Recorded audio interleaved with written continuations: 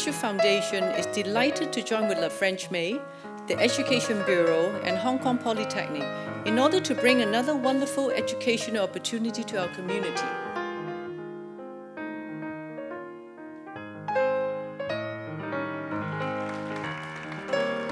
Alexandre Tharaud is a wonderful pianist.